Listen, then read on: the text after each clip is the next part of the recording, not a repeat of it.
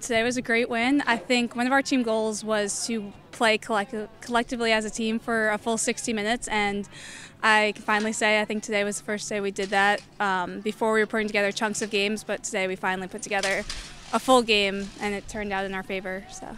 Yeah, we wanted to come out and get a lead right away, which we did. I, I think we are up like four nothing at one point, which is awesome. And you know we've been in the hole before, and we know how hard it is to come out of it. So we wanted to do that to another team. Defensively, was great. We um, we made some adjustments in the game to um, try and stop their one v ones and send doubles, and you know our defense responded well and got right into it.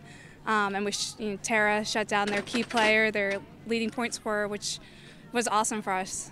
Awesome. Um, I'm so glad to be the ranked team. It's you know it's about time. It's we've uh, we put a lot on our schedule so that we can get ourselves ranked, and it's nice to finally be one. And I think I think the thing about the game is, um, you know, we were waiting for a game where we are all playing collectively as a unit, and I felt like this was finally a game that we came out um, and everybody was contributing and everybody was helping transition the ball and on the defensive end too. And it was the first time that I think we've seen that happen this year, and hopefully carry that momentum as we move forward. You know, in practice we made a lot of changes and, and kind of redeveloped some of our plays um, to be a little bit more effective, depending on what what the other team was doing, and um, you know, we put that into play today, and I think the girls gained a lot of confidence and, and felt the success of, of making those changes. You know, a big part of our off- offense is everybody being able to put up points. You know, it's not based around one or two people, but about all seven that are out there.